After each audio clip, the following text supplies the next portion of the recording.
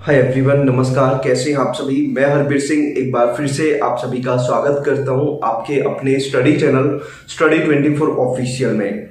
तो आज के इस वीडियो में हम काफ़ी इंपॉर्टेंट टॉपिक के ऊपर डिस्कशन करने वाले हैं। जैसा आपने टाइटल और थंबनेल में देखा है, उसी के बारे में हम बात करेंगे तो वीडियो के साथ बने रहिए।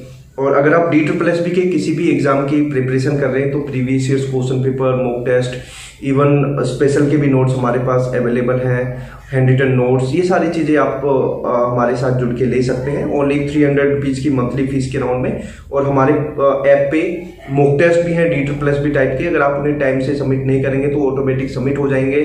और इसके बाद नेगेटिव मार्किंग भी होगी तो आप देख सकते हैं। और जो अदर सब्जेक्ट्स हैं उनके भी नोट्स हमारे पास लगभग सभी अवेलेबल होंगे। तो आप दिए हुए नंबर पे मैसेज कर लीजिए। वीडियो देख के आते तो एक स्पेशल डिस्काउंट भी आप लोगों को दिया जाएगा।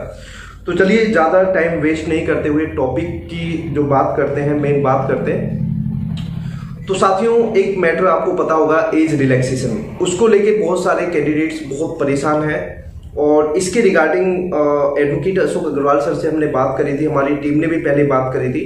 प्रदीप सर हमने और हमारी जो टीम थी सभी ने मिलकर बात करी और ये फिर डिसाइड किया कि इस जो मतलब एज रिलैक्सेशन है सभी को एक बार एज रिलैक्सेशन मिलना चाहिए और इसके रिगार्डिंग ट्विटर पे भी बहुत सारे साथी अपने लेवल से जितना प्रयास हो रहा है वो कर रहे हैं। लेकिन जो आ, हम बात करें मेल कैंडिडेट्स उनके लिए भी हमने जो पीआरटी वाले हैं वो जुड़ सकते हैं। डिस्क्रिप्शन बॉक्स में लिंक है। टेलीग्राम का भी और व्हाट्सएप ग्रुप का भी। तो पीआरटी वाले व्हाट्सएप ग्रुप में जुड़ सकते हैं और जो अदर कैंडिडेट्स हैं वो टेलीग्राम पे जुड़ सकते हैं। और इसके बाद हम मेल कैंडिडेट्स के लिए भी आवाज़ उठा रहे हैं। तो ऐसा नहीं कि सिर्फ़ हम फीमेल के लिए काम कर रहे हैं मेल कैंडिडेट्स के लिए भी हम काम कर रहे हैं। अब इसके बाद बात आती है कि जो फीमेल कैंडिडेट्स हैं तो उनके लिए आ, कल बात हुई थी एडवोकेट अशोक अग्रवाल सर के बेटे अनुज अग्रवाल सर से।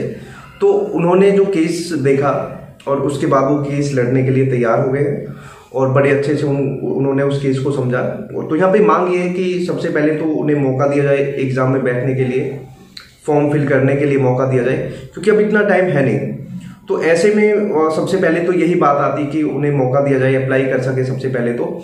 और इसके बाद जो सबसे बड़ी बात ये आती है कि जो केस है आप उस केस को सबसे पहले मैं बोल रहा हूँ या प्रदीप सर बोल रहे हैं या इसके बाद कोई और बोल रहे हैं, क्योंकि देखो क्या होता है, मैंने जो चीज़ें देखी हैं ग्रुप्स में, वो क्या हो रहा है ना, अपने आप को चौधरी समझने वाली बातें ज़्यादा हो रही तो आपको मैंने जो बात करी थी अग्रवाल सर से, और तो यहाँ पे बात यही आती है कि आप किसी के बहकावे में नहीं आए।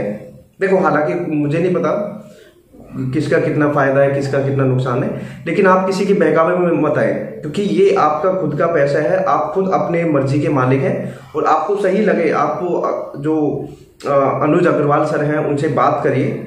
उसके बाद जो केस लड़ रहे हैं, उनसे बात करिए, अपने क्वेश्चन पूछिए, और जब आपको लगे, जब आपको लगे कि हाँ ये सही है मेरे लिए तो ही आप केस के लिए आगे आए। क्योंकि कल को ये ना हो कि हरबीर सर ने कहा प्रदीप सर ने कहा, या किसी और टीम के मेंबर ने कहा, या जो ग्रुप्स के चौधरी बने हुए हैं, उन्होंने कहा। नहीं, गलत। आप सबसे पहले में बात करिए, और जब आपको बिल्कुल लगे कि हाँ ये सही है हमारे लिए, और मैं सभी से यही कह रहा हूँ, देखो, हम लोग आपके लिए काम कर रहे हैं। निस्वार्थ भाव से हम लोग आपके लिए काम कर रहे हैं। और अगर आपको कुछ भी लगता है, गलत लगता है कि हाँ भाई कोई प्रॉब्लम है तो आप हमसे डायरेक्ट बोलें और अगर केस वगैरह की कोई बात है तो आप सबसे पहले वहाँ बात करें। इवन अगर पेमेंट भी देनी होती है तो आप वहाँ बात करें पेमेंट उनको डायरेक्ट दें। अगर बीच में कोई भी ग्रुप में कोई पैसे ले रहा है, कुछ भी ऐसा, क्योंकि ये चीज़ें मेरे सामने भी आई थी कि ग्रुप में पैसे इकट्ठे कर रहे हैं, ये कर रहे हैं। हालाँकि हमारी टीम ऐसा नहीं कर रही, लेकिन अगर कोई भी ऐसा कर रहा है तो वो गलत है। उस चीज़ के हम कोई जिम्मेदार नहीं है। आप अगर पैसे लेने देने की बात आती है तो ग्रुप में कोई इकट्ठे कर रहा है तो वो आपकी खुद की रिस्क है। अगर हम पैसे की बात करते हैं तो अग्रवाल सर के जो बेटे हैं अनुज अग्रवाल, उनको आप पैसे दीजिए और आप मुझसे बात कर लीजिए, जो स्क्रीन पे दिए हुए नंबर पे बात कर लीजिए, जो भी वुमेन केस में जुड़ना चाहती हैं, और मुझसे बात कर लीजिए, उसके बाद मैं एडवोकेट सर का नंबर दे दूँगा, आप उनसे फिर बात करिए, अपने क्वेश्चन रखिए। कि सर, ये जो केस है, हमारा ये मैटर है। और अगर उनको लगेगा कि हाँ आपको केस में ऐड करना चाहिए, क्योंकि मेरे पास क्या है, बहुत सारे ग्रुप्स हैं। बहुत सारे ग्रुप से लोग जुड़े हुए हैं। तो बहुत सारे लोग बोल रहे हैं कि हमारे ग्रुप में बच्चों को भेज दीजिए, हमारे ग्रुप में। हालाँकि मैंने, देखो ग्रुप में तो बहुत सारे बच्चे जुड़े हुए हैं, हम वीडियो भी डालते रहते हैं। लेकिन अब क्या करना आपको? आप डायरेक्ट बात करें, और उसके बाद जो ये चौधरा चली हुई है, उसके चक्कर में ना पड़ के अपना सीधा देखें। ठीक है? क्योंकि ये चीज़ें बड़ी पॉलिटिक्स बाजी क्रिएट करती हैं तो मेरे हिसाब से ये सब चीज़ें सही नहीं है। हालाँकि बहुत सारे लोग हैं जो निस्वार्थ भाव से काम भी कर रहे हैं, जिनमें एक रोहित सर भी हैं जो अच्छा काम कर रहे हैं आप लोगों के लिए।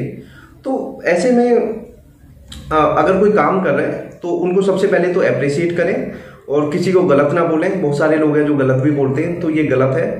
क्योंकि अगर आप लोगों के लिए कोई काम कर रहा है तो वो आप आपके लिए अपना काम छोड़ के वो आप लोगों के लिए काम कर रहे हैं। और अगर, देखो, यहाँ तो ये कि अगर कोई कुछ भी काम कर रहा है तो उसमें हम सबसे पहले उसकी कमियाँ देखेंगे कि ये काम क्यों कर रहे हैं। इसने ये काम क्यों किया?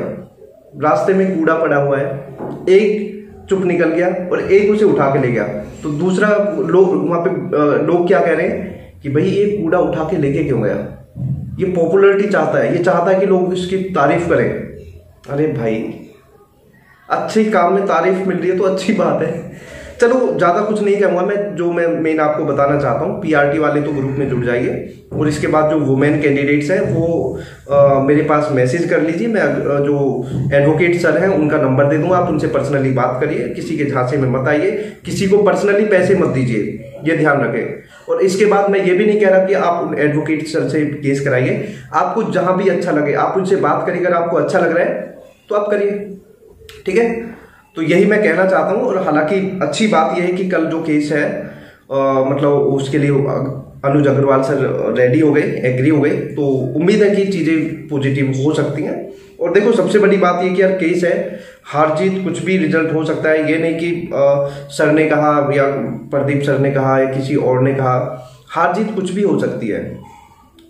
लेकिन अपने हक के लिए लड़ना तो चाहिए। और मैं रियली बताऊँ मैं वुमेन जो कैंडिडेट्स हैं उनके जज्बे को मैं सलाम करता हूँ। कोविड टाइम में भी वो एलजी हाउस पे गए मेहनत कर रहे हैं वो। और मुझे लगता है कि देखो अगर कुछ अलग हुआ या मतलब आ, हम हालाँकि नेगेटिव भी सोच के चलें लेकिन मेरे हिसाब से जो केस है आप लोगों के फेवर में चांसेस हैं जा सकता है।